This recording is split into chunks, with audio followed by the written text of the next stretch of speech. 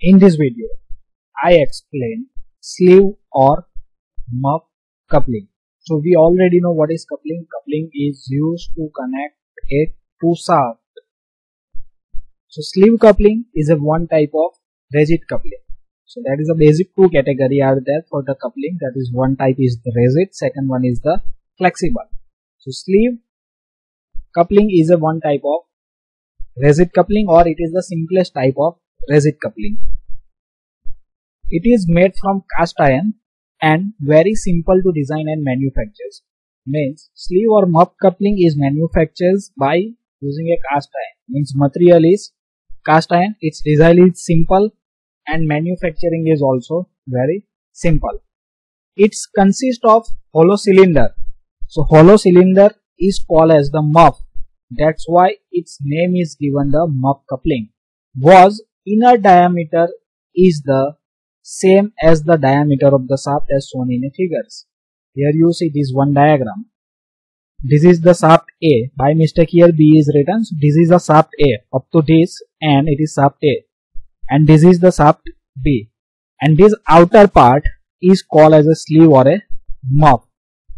So this inner diameter of the sleeve is same as the diameter of the shaft. Suppose the diameter of the shaft is 50 mm, then the inner diameter of a sleeve or a muff is 50 mm.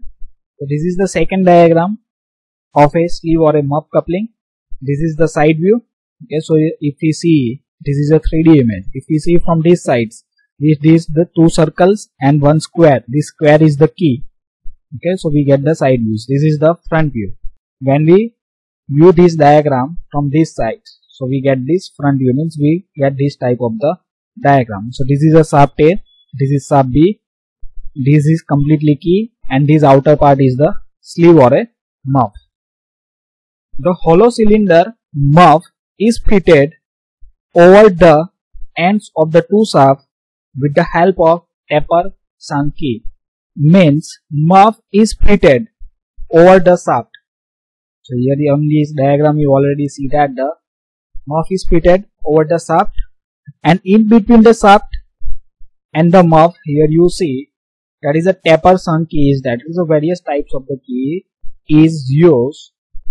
In a muff coupling we use the taper sunk key. Key and sleeve useful to transmit the power from one shaft to another shaft.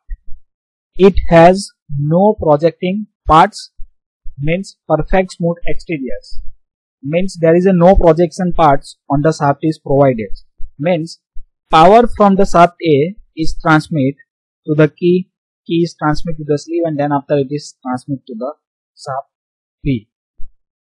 The main disadvantage of this coupling is that it is difficult to assemble when there is a no perfect alignment between the shaft. Means there is a slight misalignment between these two shafts.